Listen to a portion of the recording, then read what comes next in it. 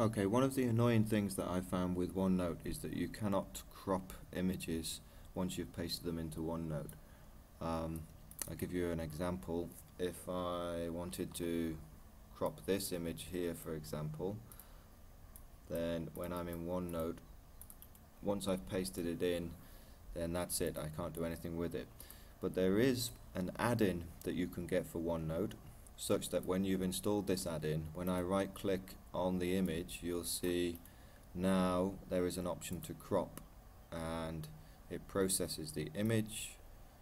You then, let's say if I just want this particular text, you crop what you want, you click accept and it automatically changes the image for you.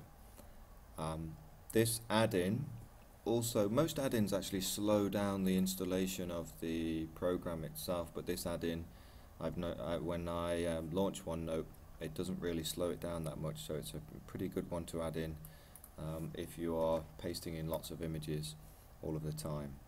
Um, I'll put the links to the add-in and further information on the website of the guy that designed it below this video. Thank you very much.